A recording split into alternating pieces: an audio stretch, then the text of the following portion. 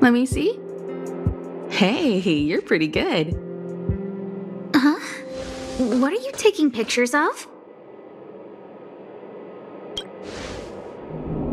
Why do you sound so nervous all of a sudden? Suspicious. I didn't expect to see you here. Didn't you say you were really busy? I am. The Legion has only just retreated. The station is in absolute shambles.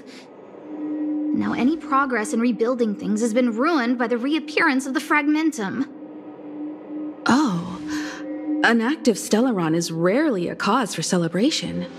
What did Herta say about the Fragmentum's appearance? You know what she's like. It's like nothing's happened. She's just sitting back and giving orders. If there's time later, I want to talk to you both in more detail about this. You're the Fragmentum experts, after all. Anytime. Uh, I need to go. Someone's taken my family encryption key.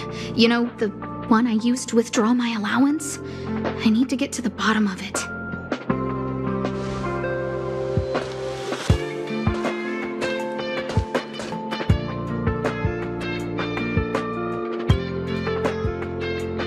Might be the whistleblower's so called evidence.